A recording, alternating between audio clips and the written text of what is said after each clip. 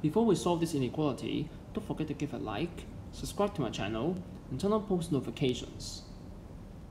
Now for this inequality, this is the most complicated part, so I'm going to let u equals the square root of 2x plus 1. Now I'm going to write make x the subject of this uh, formula. So u square both sides, u square u equals x 2x plus 1, and so x equals u square minus 1 over 2.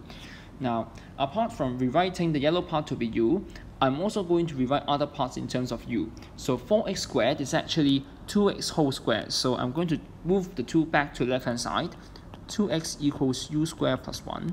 So that means 4x squared is actually u squared plus 1 whole squared. And also, of course, 2x plus 9 is equal to u squared plus 8. So now we can start solving the inequality. Now the inequality becomes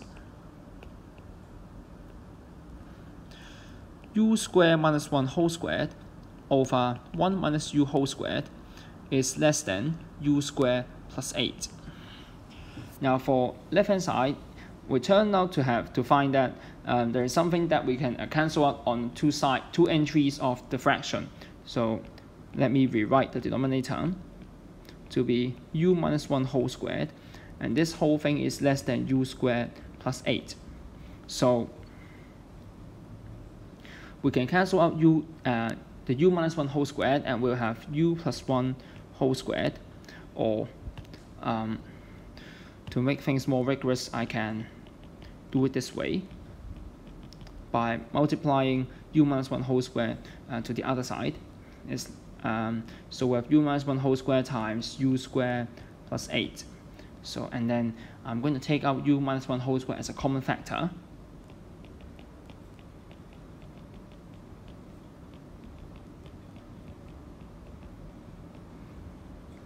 So I have u minus 1 whole squared to be um, multiplied by u squared plus 2u plus 1 minus u squared plus 8 minus the whole quadratic expression and this whole product is less than 0. So we can further simplify u minus 1 whole square multiplied by 2u minus 7 is less than 0. So we must have 2u minus 7 to be less than 0 and of course we can't have u to be 1 because when u is 1 then left hand side this whole bunch would then be 0 so that will um, make the inequality no longer hold.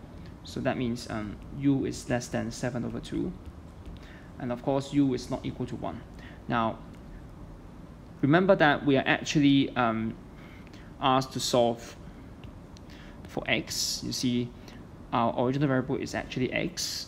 So we go back to square root of 2x plus 1 is less than 7 over 2. Of course, because we are um, uh, dealing with a radical sign, so this whole expression must be uh, non-negative as well. This is a natural constraint.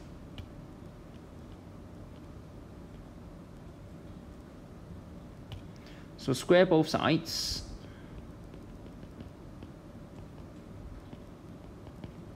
And solving will have minus 1 over 2 to be less than or equal to x, less than uh, 45 over 8. Of course, because um, u cannot be 1. So that means, um, let's do as a draft for u not equal to 1. That means 2x plus 1 is not equal to 1. So x cannot be 0. So that means I need to um, reject the case that x is equal to 0. So I have to split this inequality.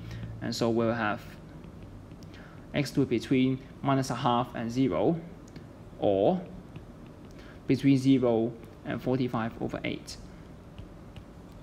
So this is our final solution.